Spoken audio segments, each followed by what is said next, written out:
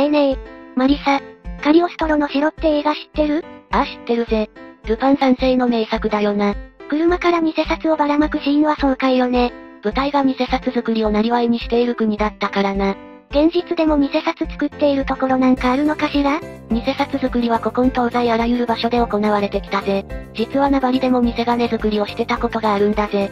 ええええそんなことがあったの？早くその話聞かせてちょうだい。じゃあ、今回は名張で偽金作りが行われていた話をしていくぜ。これは、食日本後期に書かれている話なんだが、マリ様って、食日本後期ってのは何なの？そうだな。そこから説明していくぜ。古代中国では、一つの王朝が滅びると次の王朝が前の時代の歴史書を編纂していたんだぜ。つまり、国家事業として歴史書を編纂していたんだぜ。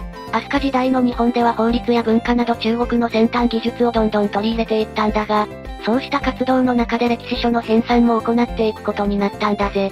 そして養老4年720年、日本初の歴史書日本書紀が完成するんだぜ。以後、この歴史書編纂事業は続けられ、平安時代の延期元年901年までに、日本書紀、食日本義、日本後期、食日本後期、日本門徳天皇実録、日本三大実録の6つが作られるぜ。この6つの歴史書を立国史と呼ぶぜ。ええ国家事業としての歴史書編纂があったのね。ああ、で話を戻すが、その食日本後期の昭和6年839年4月2日の上二事件について記録されているぜ。朝廷は宮中の警護などを仕事にする今野 F の中間管理職であった証言の坂の上の大宿根正宗と、捕虜となった恵美氏である冬を伊賀国に派遣しているぜ。この坂の上の正宗は、あの有名な坂の上の田村麻呂の孫だぜ。そして、名張の山中で偽金である市中船を作っていた人たち17人を逮捕し、偽金や偽金作りの道具を押収したんだぜ。そんな事件があったのね。でも偽金ってそんなに簡単に作れるの？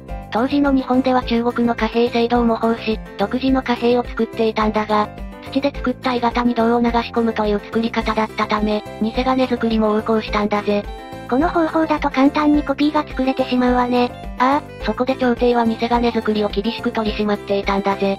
平安時代にたびたび行われた罪をなかったことにする大赦の際にも、偽金作りをして有罪になった者には適用しないのが普通だったんだぜ。また、偽金作りの刑罰で最高刑は死罪もあったんだぜ。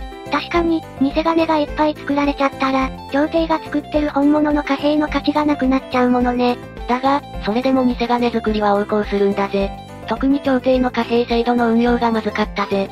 朝廷では、和道開鎮から権限大砲まで校長12戦と呼ばれる12種類の貨幣を作っていたんだが、新しい貨幣ができるたびに旧銭10枚と新銭1枚の交換としたんだぜ。えー、ってことは、今の100円玉に例えたら、古い100円玉10枚と新しい100円玉1枚が交換されるってこと？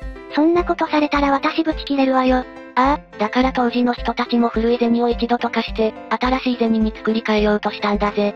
こうすれば、枚数は変わらないから実質的な損はないぜ。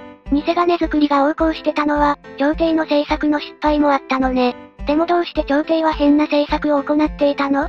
当時の朝廷は通貨の価値をコントロールしたいと考えていたが、基本的な貨幣経済の知識がなかったんだぜ。だから、自分たちに都合のいい価値で新しい銭をどんどん作っていったんだぜ。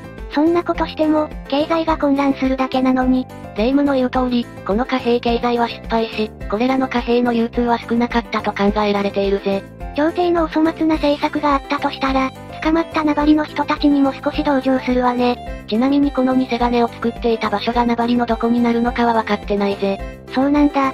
じゃあ、今後の発掘調査とかで偽金作りのアジトが発見されたら面白いわね。ああ、きっと大騒ぎになること間違いなしだ。じゃあ、今回の解説はここまでにするぜ。チャンネル登録高評価よろしくお願いします。Twitter もやってるので、フォローよろしくだぜ。それじゃあ、また見てだーこ。